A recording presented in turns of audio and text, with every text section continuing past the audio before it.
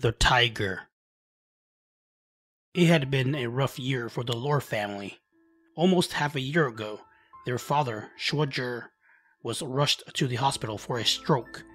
While there, it was discovered his kidneys were failing and operating at 5%. Upon his release, he was advised to start dialysis. Despite his family's pleas, the man declined. You all want me dead. Dead like your Uncle Ying. He got dialysis. And where is he now? Buried in the dirt, Jerd told his family. Not long afterward, the man broke his hip and busted his head when he fell down the stairs. Jerd was treated for his injuries, but his stay was prolonged since surgery was needed to repair his hip. Further examination concluded the old man suffered additional minor strokes since his initial one. The family felt bad and looked at one another in disbelief. Detecting strokes can be difficult to the untrained eye, especially the minor ones. It's the major ones we have to be aware of. You did a great job of recognizing it and bringing him in when you did the doctor said, trying to put their mind at ease. Truth was, the issue started long before then. Jur had a heart attack two years prior, which resulted in the medical staff putting several stents in his heart. The man was never the same since. Jur used to wake up before everyone in his family, looking for things to work on around the house. He did anything from washing dishes to yard work. He even went on walks around the neighborhood when there was nothing to do. After his operation, the man became a shell of himself. He couldn't exert himself like he used to, and became increasingly less active. The more effort he put in, the more exhausted he became, with little to no difference in whatever he was doing. Everything Jur tried to do seemed like a chore he started, but couldn't finish. The less active he was, the more discouraged he became, Jur felt like he'd lost all purpose in life as a man and a father. It got to the point where he'd often sit around the house with the family, but was never fully engaged. His wife Gia, or even his children who were now adults, would address him, but the man wouldn't know it until they physically made contact with him or called him several times, in which case he turned to them looking like he'd just awakened from a dream. He was the same during outings and at church, the family figured it was due to his age. However, it was after his first major stroke when things really took a turn for the worst. Before it, the old man was warm and compassionate. He even had a great sense of humor and often joked around with his kids and grandkids. Afterward, he became mean spirited and hostile. On many occasions, Xuanzhou said he saw a strange man lurking around the house and accused Gia of cheating on him with the man. One time, while the family was in the living room watching TV after dinner, Xuanzhou had a major episode in front of the whole family. You think I don't see you there? You can't hide from me. Are you not embarrassed? Leave my wife alone. If you don't, you're going to be sorry, the old man yelled. Alarmed, everyone turned to see what the commotion was about. Even the old man's grandchildren were frightened. Who are you yelling at? Gia asked. Your boyfriend. Who else? He better leave, because if he doesn't, I'm going to kill him, exclaimed Jur. What are you talking about? There's no one here except us, Gia shouted back. Don't lie, he's right there, the man shouted, pointing to a corner of the room. Everyone glanced over, only to see the usual wooden end table with the lamp on it. There's no one there, the old woman fired back. The two went back and forth until he snatched a handful of the woman's hair and tossed her onto the floor beneath him like a gator dragging its prey into water. The move was so quick and sudden it caught her and everyone else by surprise. He then proceeded to punch her in the head and face, all the while the old woman screamed in agony. Their son Tuo rushed over to stop his enraged father from beating his mother. They've argued before, especially since the stroke, but he had never seen his father lay a finger on his mother. Growing up, neither of his parents ever spanked or beat Tuo or his siblings. Dad, stop! Tuo yelled, attempting to bear hug his father from behind. The old man was much stronger than Tuo anticipated. Jerd thrashed around violently like a crazed beast, freeing his punching arm from his son's hold, all the while still clutching tightly to his wife's hair as she screamed. His flailing elbow cracked Tua in the mouth, staggering him backward. Meanwhile, Shannon, Tua's wife, tried desperately to free her mother in law from her father in law's insane grip. Dad, stop! Let Mom go! Shannon pleaded. But her pleas fell on deaf ears. The old man shoved her with a kick, sending her tumbling to the floor. Everywhere around them, the grandkids were either crying or staring in horror as the adults continued their battle royale. Unperturbed by the blood drizzling from his mouth, Toa once again tried to restrain his father, this time with more determination. Hurry! Get Mom! Toa shouted. Shannon scrambled back to her feet at once and was back in the fight, trying desperately to pry her mother in law free from her assailant. Unable to use his arms, the old man attempted to kick her again, but Shannon was ready that time, and his attacks were unsuccessful. Tua wrestled his father to the floor as the elderly man growled and roared like a ravenous dog. At one point, he even tried to bite his own son. Shannon finally got her mother in law free, but not before losing several strands of hair. After a moment, the old man's strength subsided and he calmed down. Only then did Tua let his father go. The whole ordeal lasted no longer than a couple of minutes, but it was far too long for those involved. Though the old man was no longer physical, he was still very much vocal. He continued ranting and raving like a madman, threatening to call relatives to lecture the family for abusing him and his wife's non existent infidelity.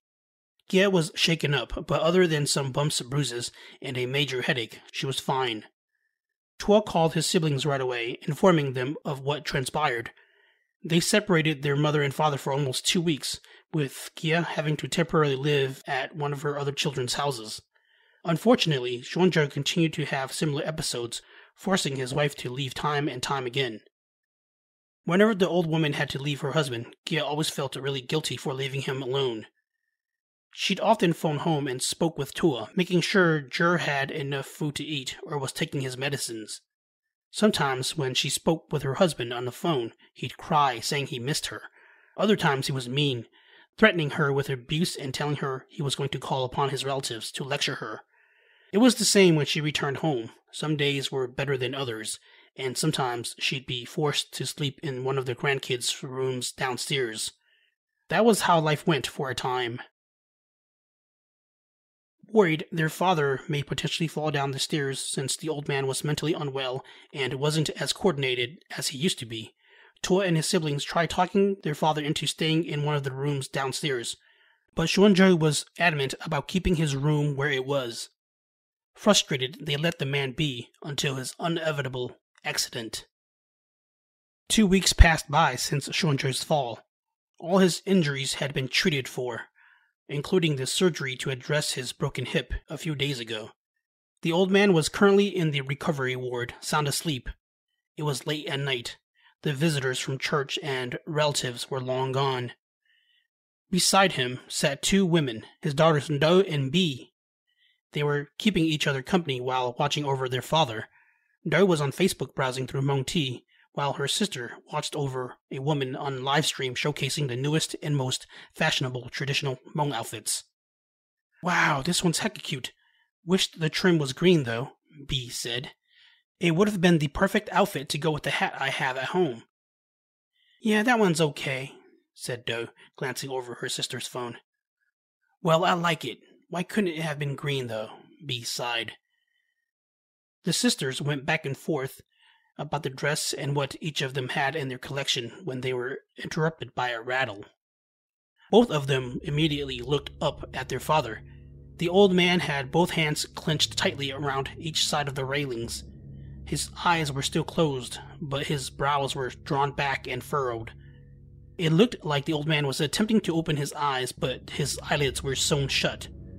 Shuanjai whimpered and began stirring in his sleep, all the while his hands remained gripped to the railings. He licked his lips. Then a chilling, inhuman sound escaped him, sounding like some sort of beastly call.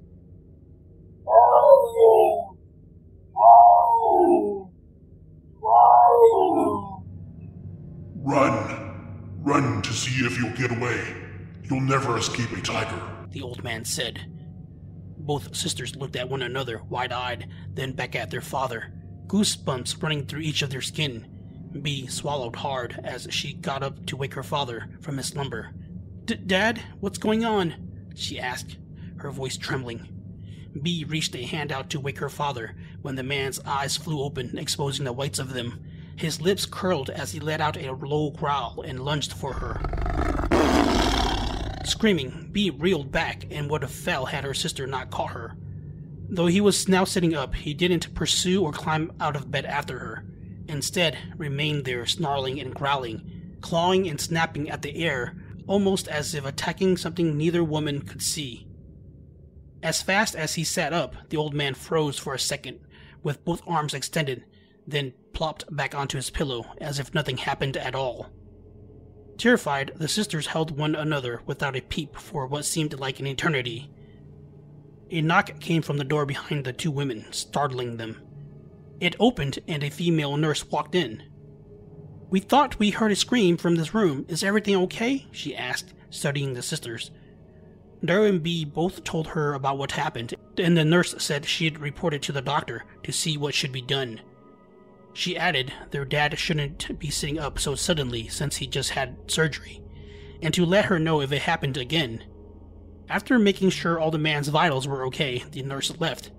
The sisters were so afraid they didn't sleep for the rest of the night. The next day, their father seemed like his normal self. They also informed the family regarding what occurred the night before, and they had a prayer session led by their pastor in Jer's room later that day. The following night, the medical staff had to put restraints on the old man after he attacked a nurse and was trying to bite her. He was more or less the same for the rest of his stay at the hospital. Some days were better than others. The Lores were notified their father's kidneys were failing and only operating at 1%, and that the cause of his sporadic behavior may be due to the toxins in his body in conjunction to the stroke he suffered. The medical staff advised the family the only way to prolong their father's life was to have him do dialysis, but warned he may not survive it because of his current state. If he did, his quality of life wouldn't be too good. Xuanzhou eventually got out of the hospital and started undergoing dialysis. Since he couldn't walk, a bed was set up for him downstairs in the living room, which made it easier to transport him for dialysis. Because he couldn't walk to the bathroom, diapers were put on him and other family members had to clean and change him. The Lores also had a portable mattress set up beside their dad in case he happened to need assistance in the middle of the night, and they each took turns watching over him. During that time, Jer occasionally had similar episodes to the one at the hospital with B and Do. It was always a frightening experience for everyone present whenever he had them. They mostly always happened late at night, so none of the church members nor the pastor ever experienced them. One night, while Kia and Shannon had fallen asleep during their watch, Kia woke up to her husband making strange noises. One thing was for sure it didn't sound human in the least. These sounds sent a chill down her spine. Though it was dark in the room, they did have a nightlight. It provided just enough light to see what was happening. Her husband was sitting upright, cradling something in both hands and baring his teeth. What was that, a baby? Gia wondered. As her vision adjusted to the limited illumination, she could tell it was a pillow. His pillow. She could also sparsely make out the reflection from the whites of the man's eyes, and was reminded of what her daughters told her. He let out a low growl and bit into his pillow. The man ripped off a chunk of it, like a wild animal feasting on the corpse of its prey, and began chewing on it. Gia gulped hard, trying to swallow the huge knot forming in her throat. She wanted to wake her daughter in law for help, but the old lady couldn't force her body to move. She didn't even want to breathe, so she sat there, trembling in the dim light of the room. Suddenly, the old man stopped chewing on the pillow to sniff the air. He spat out the piece from his mouth and spoke. What is it? How come it smells so good? The old man said, licking his chops. I'm going to hunt you down and eat you. The old man leapt from the bed onto the cobble below. Gia let out a blood curdling scream. A split second later, Jer was screaming in pain and yelling for help. Tua heard the ruckus and hurried to the living room. Flicking on the light, he found his dad with half his body dangling off the bed. The old man's foot was caught on the railing as he hooted and hollered in agony. Dad, what happened? Tua exclaimed, running over to his father's side. It hurts! Help! It hurts! screamed Jur over and over again. Everyone was awake at that point and rushed over to help. They even gave him some pain medicine, and after a moment, Jur drifted back to sleep. When the family questioned their father about the previous night, he had no recollection of it. The only thing he remembered was falling off the bed. Some time went by. Dialysis seemed to be going okay at first, but his health continued to decline. No matter how hard they prayed, Shoji wasn't getting any better. Seeing no improvement in his condition, the Lors decided to stop all dialysis treatments as recommended by his nurse. Jur passed away a couple of months after being put into hospice care. On one fateful night, a few weeks after Schrodinger's death, while the family was having dinner, there was a knock at the door. Shannon had her oldest son Brandon answer it. Brandon could see the silhouette of a person through the glass panel of the door as he approached. However, when he opened the door, Brandon was met with a sudden chill in the air that sent shivers down his spine. The 12 year old scanned the front yard and dark, empty street, but didn't see anyone. He felt uneasy about it, but talked himself out from overthinking the situation. He shut the door and returned to his meal. Who was it? Shannon asked. No one, replied Brandon, sitting back in his chair. You didn't see anyone at the door? his mother asked again. No one at all? Brandon shook his head. Nuh-uh. Shannon thought it odd, but didn't think much of it. What she did not know was it would be the start of other paranormal activities to come. Tua was on his laptop working late into the night, trying hard to meet a deadline for work. It was a weeknight. He had initially stayed after work to finish, but something unexpected came up. Hungry and exhausted, he decided to take his work home to finish it there instead. The man had worked over 12 hours. He was beyond tired and was starting to doze off in front of the computer screen. Just then, Tua's cell phone rang, startling him. It was his boss. He sighed and picked up the call. This is Lore. Fine, sir. Yes, sir. I'm still on it. Uh huh. Yes, sir. I should have it ready. Tua glanced at the clock on his computer screen. It was 2:48 a.m. I'll have it ready before lunch today. Yes. You too, sir. Tua hung up. Taking a deep breath, he closed his eyes and massaged the bridge of his nose as he exhaled slowly in an attempt to de stress. He went back to working on his laptop, and was five minutes into it when he heard something from outside. It sounded like something grunting or growling from the far end of the backyard and was making its way toward him.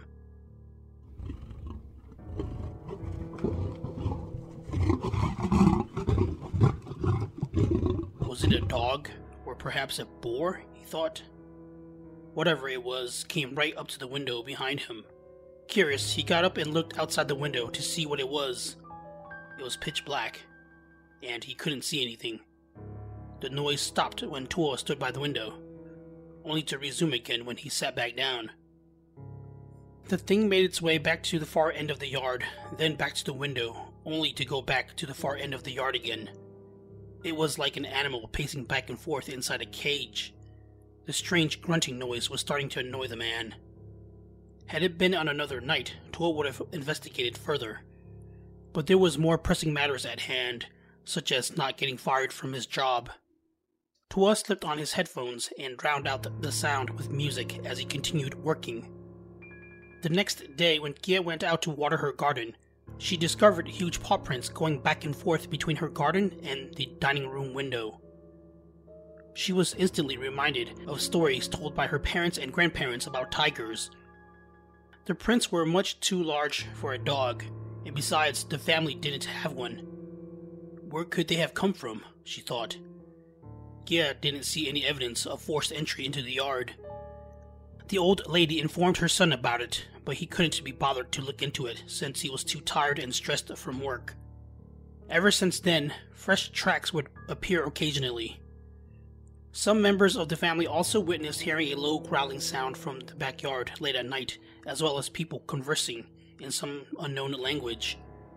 There were also incidents of unexplainable noises and sightings around the house. This terrified the family, especially the small children. It got to the point where they didn't want to go anywhere alone and followed the adults wherever they went. It was a behavior that only started after the death of their grandfather. Several prayer sessions were held at the house, specifically for the strange occurrences. The hauntings would stop only to come back again. After nearly half a year, the Lores had enough and decided to sell their house and move. They started fixing up the house and hired a contractor to make some repairs they wanted to save time on. The man and his crew showed up and started work in one of the rooms. Everything was going great until after lunch when the crew leader approached Shannon. Is everything okay? Shannon asked. She noticed the man looked frightened. Actually, ma'am, I sincerely apologize, but we were missing a certain tool needed to finish the job. We'll come back tomorrow once we get it. Again, I'm sorry for the inconvenience, the crew leader said. Oh, can you show me what you've done so far? And what's needed? Shannon asked, making her way to the room. Uh, something came up, so we really have to go. My manager will call you about it. Again, I'm really sorry, the man said and took off. The contractor never returned, and the Lores were given back their deposit. The family again hired other contractors only to be met with a similar situation every time. Finally, they decided to get one of their relatives, who was a carpenter, to help with the repairs. The man could see nothing wrong with the work the contractor started and was confused why the others refused to take on the job. The Lores finished remodeling their house and sold it. No one really knows what became of the house or the family, but some rumors say they are still being haunted to this day. Others say it was discovered Gia, Shojur's wife, was secretly following the old religion, burning incense and joss papers, which may have been the cause of the hauntings and the reason for her husband's strange behavior before his passing. Then there are people on the opposite side who argue the hauntings stopped when Gia finally decided to appease her husband's restless spirit by burning incense and joss paper. The fact is, no one really knows.